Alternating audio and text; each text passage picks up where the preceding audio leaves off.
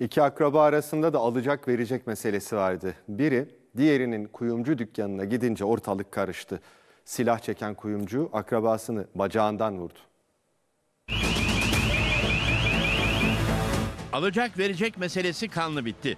Bir kuyumcu üzerine yürüyen akrabasını bacağından vurdu. Üzerine gittiği için kendisinde biber gazı vardı. Biber gazından dolayı kendisi ateş etti. İstanbul Kadıköy'de iki akraba arasında borç yüzünden tartışma çıktı. Taraflardan biri diğerinin üzerine yürüyünce ortalık karıştı.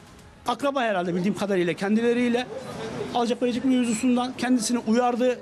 Taraflardan biri silahını çekip akrabasını bacağından vurdu. Yaralanan adam üzerine doğru yürümeye devam edince namluyu bir kez daha doğrulttu. Çevredekiler silahlı adamı ikna etmeye çalıştı. Kısa süre sonra polis olay yerine geldi ve saldırganı gözaltına aldı. Yaralanan akrabası ise hastanede tedavi altına alındı. Avukat Aydın Ceylan başına geleceklerden habersiz binadan çıktı. Arabasına doğru ilerlemeye başladı. Bir kişi onu bekliyordu. Aralarında kısa bir diyalog geçti. Avukat arkasını döndüğü an saldırgan silahını çekip beş el ateş etti.